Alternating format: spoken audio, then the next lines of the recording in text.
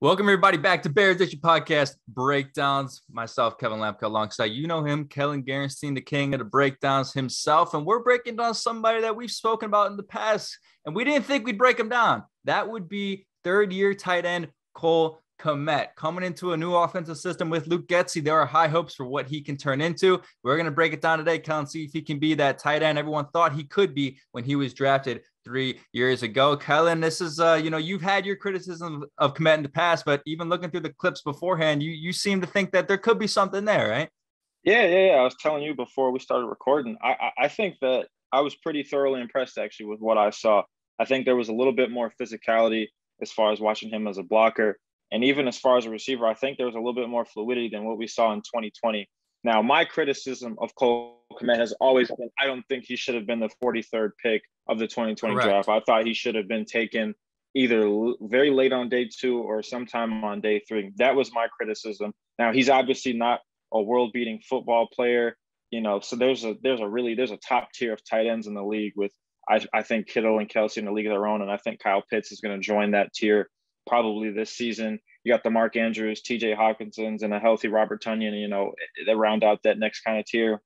And I think Cole Kmet is still a step below all of them, but he still can be a productive guy for your football team and a team that's probably going to use tight ends, 11 personnel, 12 personnel a lot because that's just how this system, that how that's this West Coast system works. Yeah. It's how Luke Getsy is probably going to want to run it, especially with the lack of proven ability as far as Bears receivers go. You've just got Darnell Mooney and then you've got two new guys, Byron Pringle and Velus Jones, who are stepping into your room. Obviously, Pringle, we did the break, we did the breakdown on both of them. Um, but you know, they're probably going to rely on these guys that have been in the in the room. Justin Fields has, has had a year with both of with both Darnell Mooney and Cole Kmet, so you're probably going to see a little bit more of a reliance on those two guys, Kmet especially because he's going to be that big target over the middle. So I think where they'll use him mostly, he's not going to be the Jimmy Graham where we're throwing him red zone one on one jump balls he's going to win these matchups by get stacking, you know, whoever is on top of him, whether it's most likely going to be a linebacker or a safety. Or what happens a lot on film is the Bears will go trips away and Kmet will be the lone man on the right. So sometimes you'll get a corner manned on him, and anytime he does that, he's going to run the in breaking route because that leverage is always going to be outside because he's got the whole he's, he's, lined up. I'd say pretty much on the hash. So that corner is going to have to protect, and you see it a lot. There's plays on on tape where he's beating Vonn Bell and Eric Stokes, like guys who are seasoned, you know, Eric Stokes was a rookie last year, but guys who are seasoned athletes, you know, guys who really can cover, you know, almost any position on the field. And he's beating them, you know, with these inside moves. And, and it's nothing special, right? Like I said, it's nothing world beating. Mm-hmm. He's a very balanced tight end. And, and I, I think, you know, when we get in these clips, you'll see it. Um, and, and I think there was, a, I think that's a better football player watching tape than I originally gave him credit for. Definitely. Well, let's look at the tape, man. Let's pull it up. Yeah. So this is one of the blocking clips that I got. I, I think I've got five clips, and I think two of them are blocking clips, and uh, both of them are actually from this 49ers game.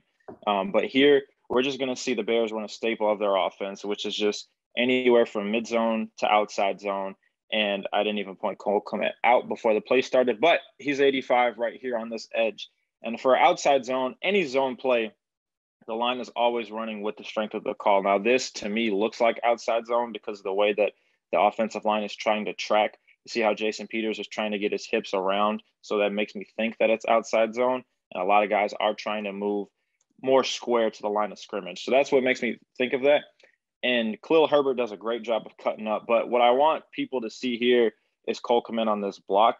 Now, I would love him to drop his hips a little bit more and try and at least get him around. I know what he's trying to do. I know he's really trying to push this guy out, and that he does a great job of that. He really kind of he, he's the reason why Khalil Herbert gets another 15, 20 yards on this play. Now that the offensive line, all the way from Peters to Borom, does it? They do a great mm-hmm. job here, and you're going to see Cole Kmet lined up to the strength a lot here on these runs because you're not going to run to Damiere Byrd, who's trying to block Nick Bosa, one of the best football players in all of the NFL.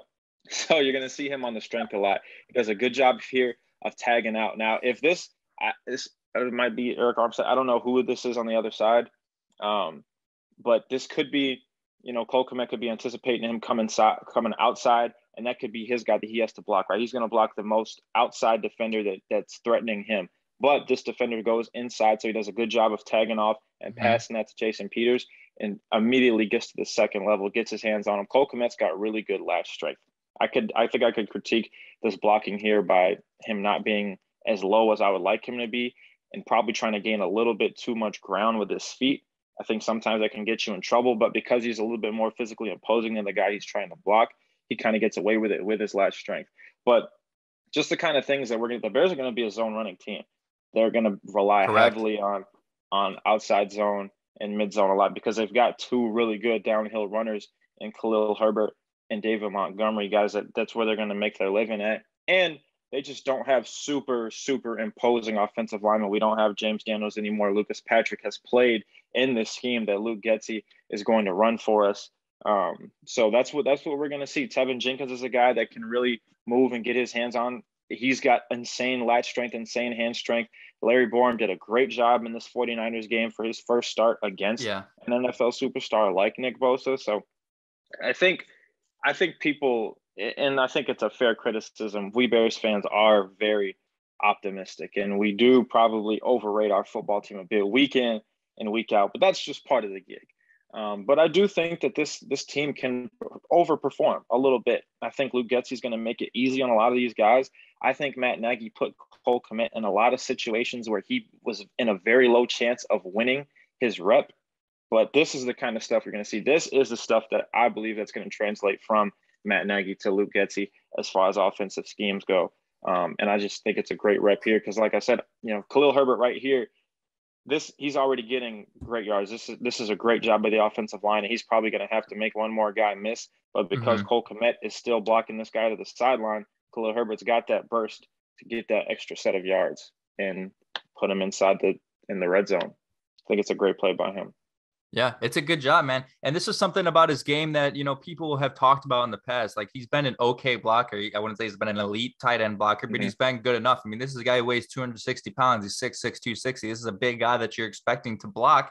Um, and, and as you mentioned, this new system coming in, he's going to be expected to do that, but he's going to have to increase you know his role in the passing game, and that's where when you start to think of okay, is Cole Kmet going to be a household name for not just Bears fans but for other fans around the league? He's going to have to do more um, from the receiving end. So, so let's you know just get straight into it. Let's bring up a receiving clip uh, as well here and show off you know what what we could potentially see. But that blocking aspect is something that can't be denied. You know, it's I think as you know, even as fans, even as you know, analysts of the game, you you forget about that sometimes when you think about how do we correctly evaluate a guy like Cole Kmet in his career so far, you have to take the blocking into uh, in, into uh, as a factor as well. But let's take a look here. Here is a, a reception here or a passing got, rep. He's on the right yeah, side, right? This isn't this isn't yep, this is him right here. I don't he's not catching this ball, but this is me, I guess, still trying to be upset at Matt Nagy for what he did. I think this ball is a completion and a first down, and I probably should have pulled up the wide clip too instead of just the end zone. But this is a ball that I think Justin Fields has to throw.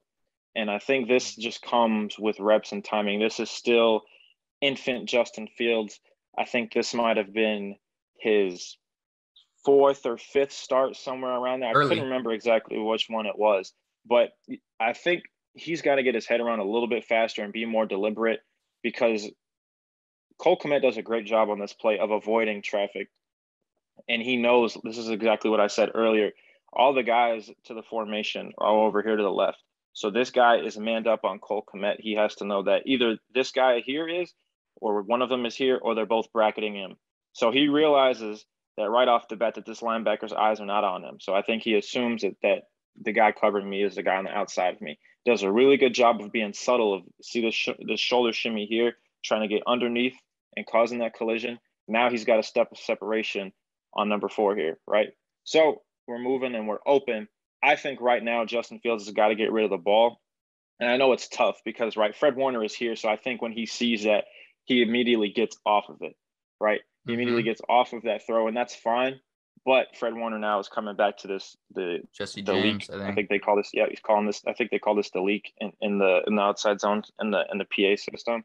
So I think I think with more reps and with more time in the offense, if Justin Fields if he did get these reps with Cole Kmet. He had, you know, if that's Jesper Horsted, right? Maybe it's different because he had that connection. yeah, the rapport, him, right? Yeah. You know, I mean, that's that's and that's for real, and probably Jesse James too. We saw the the, the Jesse James throw. I thought it was, it might have been Justin Fields' best throw, the touchdown that he threw to Jesse James in this game mm-hmm. when he mm-hmm. practically threw a, a shortstop sidearm falling away. It was ridiculous. So, but this is one of those plays where I looked at it and I said, that that's some, that's a pretty good job of creating separation. And that, and like I said, I should have picked uh, the wide clip too because there is a corner over here, which is why Kmet stops here. But if not, he's going to keep running. But I think again, this just shows, I think, with another step with Justin Fields, there's going to be a bit more production. You add one target there to Cole Kmet, you add one reception, and you add probably, I mean, this ball is snapped at what's this? The if this is the 50, then this is what the 37, right? So Cole Kmet's catching this at the 47, he's catching it at the 10. He's probably getting probably five, 10, maybe more yards of, of run after the catch there. Mm-hmm. So I think we're talking about a bit more production with a whole, with Luke Getsy being around Justin Fields and being able to focus on Justin Fields being his starter. Right. I think that we're talking about a Cole Kmet that's elevated. He's probably getting another catch or two a game, you know, which is which is a lot. I mean, that's another th- if if if we're talking the max, that's another 30 catches in a year. He had 60 last season. And I think he's going to have a bigger role because there is no more Allen Robinson. And I don't think Luke Getsy is going to rely too much on on on newcomers. I think he is going to try and target these new guys, and I think Justin Fields is too. Um, yeah. So again, not a not a Kmet reception, but I do think that it's a it just shows a little bit of growth from him because I that was one of the the things on him coming out of college. I didn't think that he was going to be able to separate against really anybody. And I know Fred Warner is might be the freakiest athlete in all of football, but I think this is a great job of Kmet, just finding a way to get open and understanding too that he probably is going to have to slow down because he's running into the corner. So a little bit of everything. And obviously, Justin, this is better than him, you know, running out of or throwing the ball out of bounds or taking a sack or trying to force anything. You know, if he doesn't feel comfortable, run with it. But I do think that in year two with Fields and Kmet, I think that's a gain of about 25 yards. Yeah. And you actually look at he looks pretty fast on display. I mean, again, Cole Kmet is a four seven guy. So when he, you know, when he alludes to those comparisons to Robert Tonyan and George Kittle, the one thing that's kind of lacking is he, he's about know, he's a few ticks slower than those guys, so he's not going to be exact an exact replicate of the guys he wants to be. Specifically, George Kittle, who's just an insane athlete. But Cole Kmet is a good athlete for his size. Again, this guy is 6'6", 260. So you know, running at this speed, um, at his weight, you know, he looks quick enough there. Like I'm not watching this like he's not fast enough to separate from guys like that. Like I don't see that, yeah. which is a good thing. And you know, sometimes people will see the numbers and you know uh, you know people want to act like 40 numbers don't lie but they do a lot. And i think you know, he is faster than what that 472 is at least from what i saw on that play and what i've seen throughout the years. And, and one more thing too about uh, you know, just his opportunities. You know, he was actually sixth amongst all tight ends last year in deep targets with nine. Uh, and his average target distance, his average up the target was 10th amongst all tight ends at 7.9. Mm-hmm. So, like, I feel like people are kind of underestimating that aspect of his game. Is this guy, he has the ability and he, he has been put in situations where he can be a threat down the field. Like, I think a lot of people, when they think about, you know, what has Cole Kmet done, you're thinking, you know, curl routes and short, you know, shit. And, you know, you know, not a lot of stuff down the field. He's not a vertical threat like a George Kittle can be, like a Travis Kelce can be, like a Robert Tonyan has been in the past. And that's, I think that's an element that exists and will be utilized this year. And, you know, people like to see big plays. What do you remember? You remember big plays. So you just need a couple big plays and you'll, you'll may mm-hmm. change your mind on what he's capable of. But let's take a, uh, a look at another play here. I'm going to go to the Packers game. Okay. Um, the first one. And the rest of these clips, I thought I had one more blocking clip, and I, I don't, but I could I could easily show it, and but it's not super important. But the next three clips I'm going to show, I'll show that how Cole Kmet, I think, in my opinion, is going to be used, and that's going to be in a few different ways as far as where he's catching the ball. But where I'm thinking is, I think I already said this, intermediate over the middle of the field, and if you are going to go deep with them, I think it's going to be outside the numbers on those seven routes that the like seven stops, which is just a corner and stop, or he is running a corner. I think I might have a clip from Pittsburgh in here, which is crazy. I can't remember what clips I had, but um, is here. Um, this is a condensed set, and I think they send Damiere Byrd in motion out of this tight bunch. And this is going to be a big thing. Is play action here? Play action over the middle against middle field open, right? Middle field open just means two safeties, so you have this middle of the field to, to throw at, right? that play action to Kmet is going to be huge, just to anyone, you know. But the, the, it, it is going to be the tight end. You know, I think play action play action we all know is a big part of of this scheme of this system, but that's going to be a big thing. And and this is actually a rarity on tape for him, in my opinion, is to get tackled by the first guy that touches him, even though mm-hmm. he is turning around and, and getting hit right by him. One of the things Cole Kmet does really well, and he did this his rookie year really well too, outside of the couple fumbles he had, was not letting the first guy to make contact with him bring him down. You know, you're always going to need that second or third helper. Or if you're trying to tackle him alone, he's probably going to break your tackle and get another couple yards after contact. I think it's one of the more basic parts of his game that he has brought with him since day one is because you just talked about his size. What was he, six six two fifty? That's a big dude. You can't. That's very hard to bring that man to bring that man down.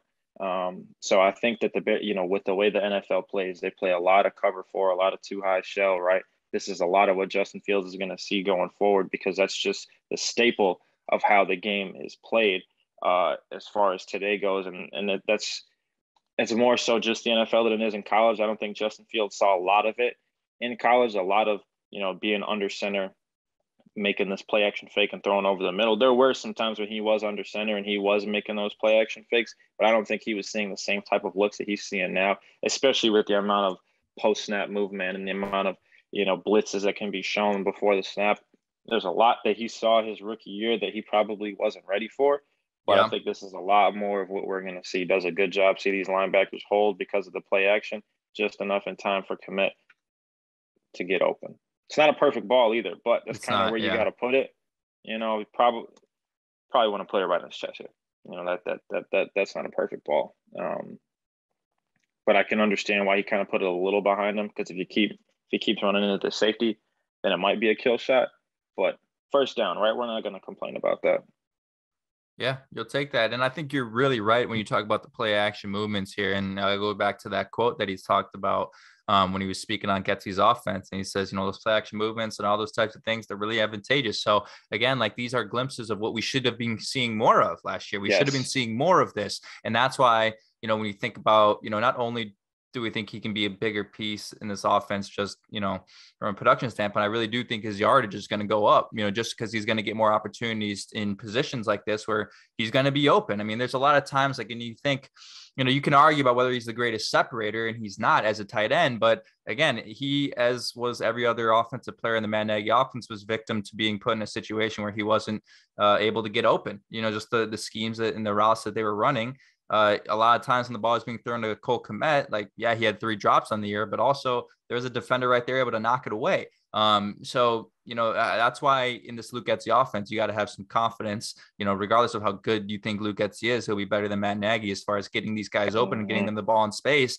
And, you know, I really like that you mentioned one of his major strengths that people kind of forgot about last year because we saw it so much the rookie season and not as much this past year was, you know, breaking tackles and like I can go back to a number of plays that rookie season when I'm like, damn, like they cannot bring this guy down. And I think there was one game against. Green Bay, one of those years yeah. where he got super fired up because he was just pushing yep. guys to the ground. And everyone's like, oh, here we go. Chicago kid Cole Kmet against his yeah. rival. Like it all just that's my favorite thing about him is he hates the Packers, and you can tell he hates the Packers. I love it which everyone thinks is an underlying reason why you know they drafted him, uh, and people mm-hmm. have their opinions on that. But nonetheless, mm-hmm. yeah, he, he can do that after the catch. But let's go to our, our fourth clip here. We're starting to see a little bit more now of, of what he's capable of, um, and giving you guys a little bit of a reminder that you know he's not a bust. I know people want to throw that word out to him, uh, and you know again, tight ends in general, more than any other position, they take a little bit longer to develop. They take a little bit longer, uh, for the most part, to become you know a household name among you know the league but here yep. we are against the Minnesota Vikings on Monday Night Football. I remember a couple yep. plays from this game, so let's see what yep. we got. Yeah, this is this is just four verts here, and and again, I think this is a look that Justin Fields hadn't really seen a lot in college because no one was going to try. Uh, he he got this against Indiana. I remember very specifically the very like the very first throw he had in the the 2020 Indiana game. And mm-hmm. Garrett Wilson had like a 50, 60 yard catch, and they never tried to do it again. They went one high for the rest of the game. But it's kind of hard to see because NFL Game Pass sucks. I ran about NFL Game Pass another time. But this is where, you know, Jimmy Graham, we saw a lot, in, in my opinion, get those one on one catches outside the numbers when he was matched up one on one with a corner. And Cole Kmet uh, just doesn't have that. And even with a washed, quote unquote, washed Jimmy Graham, you know, he was still able to make some of those plays. Yeah. I think that, like I said, intermediate, if Cole Kmet's going to be catching this ball deep, if he's going to catch it past 15, 20 yards, it's going to be exactly this area of the field. It's going to be between the hashes. It's going to be between the tackle box. You know, if this tackle box extended all the way down the field, that's where Cole Kmet is going to make a lot of his money if he's going to have a lot of yards this season. This is a great catch. This is against Eric Kendricks, who's one of the more athletic middle linebackers in football. You know, and this is a good throw by Justin Fields. It's one of the better ones he had in this game. Um, and this is just a simple four verts concept, right? And, and, this is just, I think Eric Kendricks is just taking number three if he crosses the middle of the field, which he does. This is the rest of it is just cover four down here, and they're playing cover two over here. So a little bit of a combo as far as where they're splitting it up from. They kind of got a bunch of different rules. Defensive coordinators are masterminds. I have no idea what they say in their meetings, but all I know is that Cole Kmet has this one-on-one against Eric Kendricks. It's a good ball, and he wins. Ball. That's a great ball, and he wins, man. That's all that matters is you be better than the other guy on that play. And there's not a lot as far as for me to break down with Cole Kmet, like how I was breaking down Velus Jones. Like, look mm-hmm. at this mm-hmm. guy sink his hips, look at how he runs routes, because that's not how Cole Kmet is used. That's not the type of player he is, obviously, because they play two different positions. Velus Jones is a 4 3 wide receiver. Cole Kmet is, you know, the, the tight end that he is. So I'm not trying to compare the two. I'm just trying to to say that this is how he's going to be used versus the other guys, right? This is how Cole Kmet is going to make his money. Like I said, get that production, get a second contract with the Bears. That's this is where it's going to happen at. Now, I think Robert Tonyan did a really good job of being a vertical threat in Green Bay. Correct. I don't know if Luke Getsy sees that in Cole Kmet. That's not up for me to decide. I, I don't even know if I feel comfortable projecting on that right now because I don't know what he's seeing in practice. Because all we've seen from Kmet is this type of stuff, right? There's been no sort of ball that Cole Kmet has caught in his life, or at least on the Bears, that was anything less or more than a level two ball, right? Everything is we're either firing it to you in the flats, or there's yeah. a couple throws in Pittsburgh where it's kind of similar to this. He's getting the ball over the middle, or Justin Fields is rolling out, throwing him that corner route, flipping his hips, right? So I don't know if we're going to have those big downfield shots. I would love to see it probably preseason if we're going to try it, uh, if Getsy feels comfortable with it. Um, but like I said, I think a lot of this is a bit more impressive than what I thought it would be. This is kind of the guy I think the Bears think they're going to be drafting. He's going to have to do this consistently. Now, this is not a ball that you're going to catch every time you you know you throw it. This is a 50-50 ball. You're just trusting your guy because his back is turned, Eric Kendrick's back is turned, so Justin Fields gets in the ball. That's just how it works, right? That's what I kind of want to see more of, and that's what I think Luke Getsy is going to do a better job of creating is these favorable matchups and favorable mm. throws. Mm. Justin Fields has a hell of an arm, and I think where he's really, really comfortable throwing, because obviously I think the deep ball is very, very good for him. And he's very good at throwing these accurate, like very deep out routes, like those 10 to 15 yard outs you yes. saw all the time with Darnell Mooney this year. I think he this is exactly where he's going to excel is these one-on-ones over the middle. He did a great job with it with Jeremy Ruckert, Garrett Wilson in college because those were the two guys that really caught the ball over the middle. Chris Olave was that deep threat. And even in 2019, we were throwing to like Austin Mack and Binjimen Victor on those outbreakers. So I think Luke Getz is going to try and replicate as much of, of comfortable Justin Fields as we as we see on these clips that I'm trying to show you, beside the one where he didn't throw the ball um, against yeah. the Niners. But like I said, I think that just comes with reps. I don't think he was I don't think he was uh, experienced enough or, or had the, the repetitions and practice enough to feel comfortable with that in the game. So this is actually one of Cole Kmet's better games on the year. His second best game. He had six receptions, 71 yards, 13 fantasy points for those uh, who are the fantasy owners, who I know there are many and are wondering, well, should I draft Cole Kmet? Well, maybe. But one of the things I like about you bringing up this play is, you know, we don't have a lot of tape from his opportunities in the red zone because he wasn't getting them.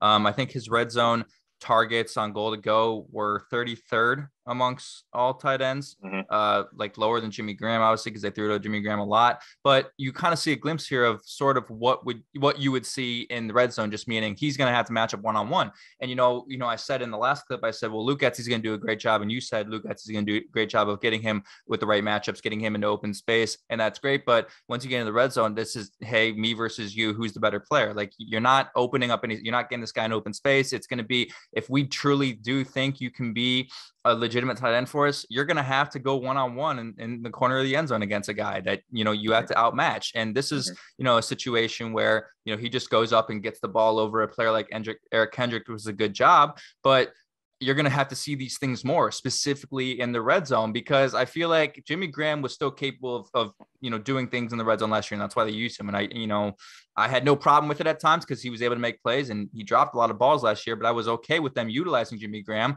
but you got to have confidence coming in this year because there is no second guy like mm-hmm. they, they really don't have a second guy that they're going to be able to use as much as Jimmy Graham they have and Ryan they Griffin James O'Shaughnessy or Ryan Griffin and Ryan James Griffin, O'Shaughnessy right yeah so I mean are guys, those yeah. guys going to be utilized maybe but you got to call on your guy Cole Kmet here in the red zone and say hey I, you know, we have three downs inside of the seven. Okay. And the first down, you know, every time is going to be a fade ball to you. You got to out muscle, outmatch this guy and, and outplay him. And, you know, eh, we're going to need to see that. But eh, it's nice to see him go up and get the ball here. And this really is a great throw by Justin Fields to high point that yeah, ball. Do you have any red zone clips? I mean, there's, you know, I don't.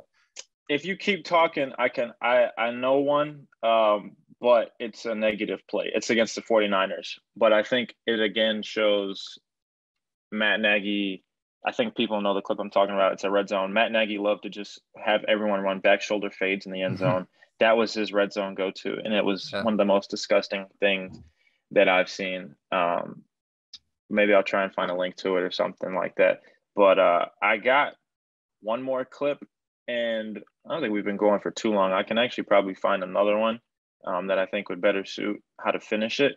Uh, okay. But I'll show this one just because it, it's it's kind of the same thing that we saw the last two clips, right? It's just Cole Kmet going over the middle, right? Finding this space. Justin Fields giving him a ball, and again, like right, like not mm. a hmm. perfect ball. Probably want to put this one a little lower, right? Yeah, this is definitely now if you know if if Eric Kendricks was here, right? That's that's where you put the ball at, you know. But that's obviously that's not the throw that we want there, and Cole Kmet does a great job of taking the hit placing the ball down, getting the first down. That's kind of what you want to see from your tight end. Again, this guy is not a unicorn. And Kyle Pitts, I, I really think like within the next year or two, Kyle Pitts is going to be the best the best tight end in football. And I think yeah, t- Travis Kelce. you know, I know Gronk just retired, and we're all talking about how Gronk is the greatest tight end of all time. I think Travis Kelce, if he keeps up his production with another year or two, I think he he instantly becomes that. And I think George Kittle, a healthy George Kittle, is the most talented tight end in the game. But I think Kyle Pitts is just a, a, freak, a guy we've never ever seen before. And, and I don't even know if he's legally allowed to drink yet. I think he still might be 20 years old. Um, so, which is crazy to think about, right?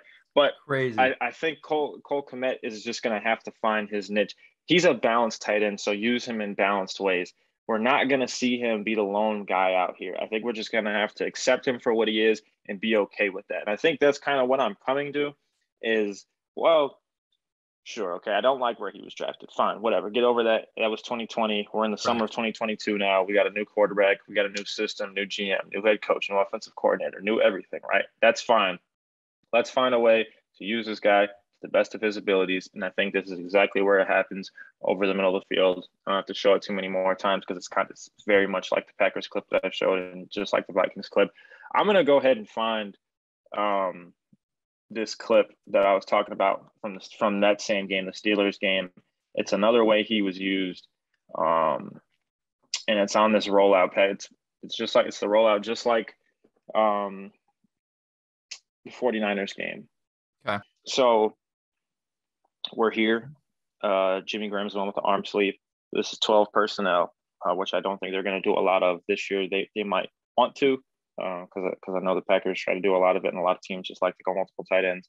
But they, like I said, Ryan Griffin, James O'Shaughnessy, I don't know how much they want to use those guys. But this this is a better job of Justin Fields getting his head around and finding the open guy, and that's a great job flipping his hips and putting that ball right on his numbers. But Cole Kmet moves a lot better in space than I would think he did. And he does a great job of finding a great place to aim this corner at because he knows that this is this is most likely just cover two over here, right? Because they're going to bracket. They've got this over here. They're manned up. So they're manned up. So Cole Kmet knows that I've got one middle field safety and I've got one guy who was either supposed to be manned on me and he fell for the for the play fake, or he's just covering anywhere from um, hook the curl to flat, right? So he knows that I have to pick this spot I'm trying to gain as much ground. See how he's going pretty vertical. Yeah. This isn't like this isn't like, you know, a corner that's really like bent toward the sideline. This is a this is you know, he's really trying to gain ground. And I think he does a great job of understanding where I was at as I put the wrong thing on my screen. But um I think again, great job of him being aware of the situation.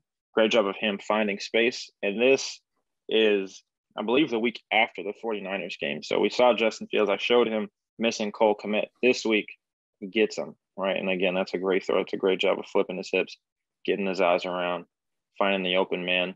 This is a lot of what we're going to see. And maybe if the Bears, you know, want to max protect this next time, or they just end up protecting it better, right? Say that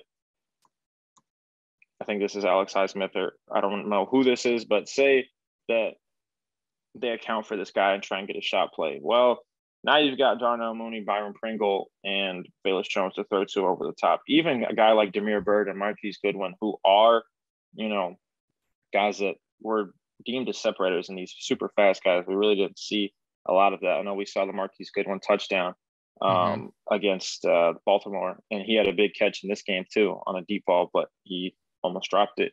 So I think we're going to see a little bit more creativity, and this is a great job. Again, this focus should be on Cole Kmet because it is. This is a great job of him and Justin Fields completing a throw, a big time throw too. Like again, the best thing I can say about this play is him finding space and knowing where to angle Correct. this throw. Knowing where to knowing where to angle his aiming point, I should say, because this is a tight throw right? And he doesn't make it too hard on Justin, but it's not easy. This isn't an easy throw, especially wrong and left trying to get your hips around. Yeah. So this isn't really a throw that Justin can throw on the run just because he he can he has the time to get that accuracy, flip those hips around, and deliver that ball. So that actually might be my favorite receiving clip that I saw of him um, watching the tape. Why I didn't highlight it the first time? That's a great question. Um, but I love it. I love what I saw here. And again, I think he's moving in space a little better than I thought he would. He's he's he's not mm-hmm. the most fluid mover. He's not he's, he's but not. he's not clunky either. You know, he's he's not like a a super robotic kind of guy. Uh, and again, he's not Kyle Pitts. He's not Travis Kelce, He's not TJ Hockenson. you know, in open space. But I think this will definitely get the job done. And this is what you're going to see. This is the kind of stuff that we probably wanted to see more of. This is, you know, you look at this and you're like, well, thank God Matt Nagy's not our coach anymore because I should have saw this, you know, a couple more times this game and a few more times in the season, you know, and it's probably why Justin Fields is getting hurt so much because we're having these shotgun, you know, empty spread or like three man routes with seven man protection and we're locking on the one guy. Just a lot of it was really bad. I just hated watching it. This is the kind of stuff, thank God, we're going to probably see more of, hopefully, see more of the next few years with Luke Getsy.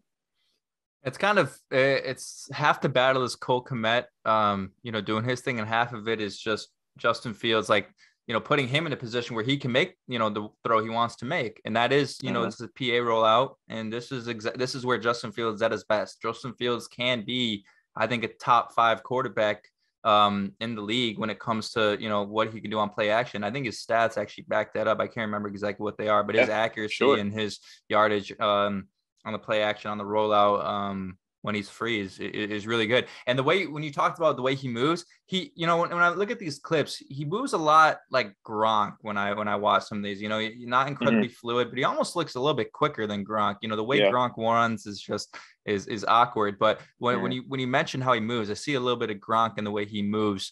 Um, and I'm not, you know, Gronk is special for a variety of different reasons. I'm not comparing him to Gronk, but I just saw yeah, I just the way he the way his legs moved, it looked a little bit um like Gronk. But yeah, man, I mean these these are plays. You know, this is this is a great job keeping the feet in, and you know this is what you want to see more of. Justin Fields on the rollout and get Cole Kmet in these type of situations, so he can do more than just you know middle of the field core routes. And is he he was coming out of the slot here again? Yeah, and this is so so this mm-hmm. is interesting right. too. You know, you were talking about uh, that in the Minnesota play. You say he's not going to be on the outside a lot. And last year, he actually ranked fifth among all tight ends in slot snaps. He had 253 snaps in the slot, which was a 28.2% rate. Um, fifth among all tight ends. So yeah, you're right when you talk Good. about he's going to be coming out of there most. That's that is you know you know again. Don't expect him to to change too much when he comes into a new system. Obviously, there's going to be things that are going to be improved, but this isn't going to be a totally different player. Um, so those things are worth mentioning as well. As down goes the sound guy. Um, sound guy got a look at that one from Cole Kmet or the Steelers defender. Uh, you can see him. Well, let's see the end of the play here. Here, Cole, here goes Cole Kmet. He's uh he's gonna break yeah. one tackle here, and it's the it's the sound guy. No, actually, I think it was the Steelers guy. Yeah, so, just knocked him right over. Um, That's unfortunate. casualty for the sound guy, but yeah. Um, Man down. there you have it. Do we have one more? No, this is it. This is all I got. So look, I mean, these again, like the thing is about Cole Kmet that I think we'll both say is he, he's not a thousand yard tight end. He's not. He, he's not. He's not going to be that guy. He's not going to ever live up to maybe what his draft position says he should be. Right, and that's okay because look, this guy had zero touchdowns last year. He had you know 613 yards or something. I find exactly. He had uh, 612. I was off by one. All right, but if you can get let's say it's not bad. 850, four touchdowns your offense improves dramatically. I mean, when people talk about the Bears personnel, right, and there's this narrative that it's bad and that they're not helping Justin Fields at all, how often do you hear Cole Kmet's name mentioned in that group? You don't. You hear the wide receivers only, but you can't forget that that's a very, very important piece of your offense. So if Cole Kmet takes takes a step up this year, your offense takes up uh, a major step. So it's really, really important that he is – you know, elevated this year and that they're really focusing on getting him into a position where he can be that 854 touchdown guy. And if he is that guy, that is you're you're getting close to what you asked for, I think, with pick 43, right? I mean, you, you, mm-hmm. it's especially knowing what we know about him now, you got to be happy with that. And I think that's achievable. Do you? Yeah, absolutely. Absolutely. Like I said, I think, I think with, with more comfortability and just being able to have more of those, you know, rollouts, let's say let's say the Bears, you know, run five or six more of those those boot action plays. I mean, most often those are going. You know, you're probably gonna not gonna throw to the same guy every play. So let's say Cole Kmet gets one of those targets. That's that's 17 more catches. You know, in a season. Yeah. You know, let's say he gets 20 more catches. So that is another. You know what? Let let's say he gets 10 yards a catch. That's another 200 yards. You know, receiving, and so that does get your 850 yards, you know, and your four touchdowns. That's what gets you there. Yeah. Absolutely. Well, there you have it, man. We uh we didn't expect to do this one, but we did it, and we hope you guys enjoyed it. If you haven't checked out our other breakdowns, um, yeah, we got Velus Jones Jr., we got Jaquan Brisker, we got Kyler Gordon, we got Byron Pringle. Um, we're gonna start doing more players who are currently on the team, not just rookies. Um, so if you guys have a specific player you guys want us to break down, please leave that in the comments, and we'll be sure to get to it. Um, but yeah, man, for myself, Kevin Lapka, for Kellyn Gerenstein, this has been Bears Nation Breakdowns, and we'll see y'all next time. Take care.